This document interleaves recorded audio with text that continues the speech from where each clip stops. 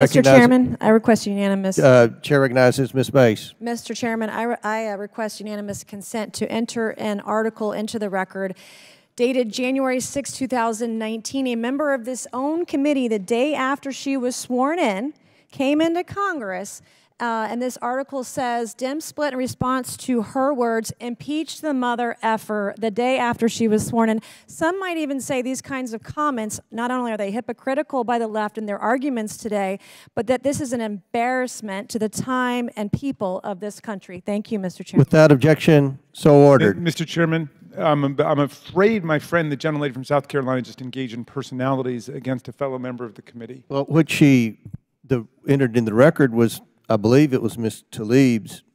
Well, it was the word. commentary that accompanied it was that an I'm referring article to. from January 6, what she 2018. said. Dim split Right. in response to impeach Said the it. mother effer comment by a member of this committee. Right, it was the commentary, and in any event, it doesn't make any No, difference. she said it. She actually Ru- said it. No, but Rule 17 She said says- impeach the mother The effer. commentary of what she is presenting. The Her- article the- title is The Dim gentlelady's split in response commentary to All right, all right, Impeach surrounds the let- mother let- let's, effer let's get comment. on with it. I mean, That's you know, the the title of government's the about to article, shut Mr. down, okay? Chairman. Uh, Chair, order. Chair now recognizes Mr. LaTurner.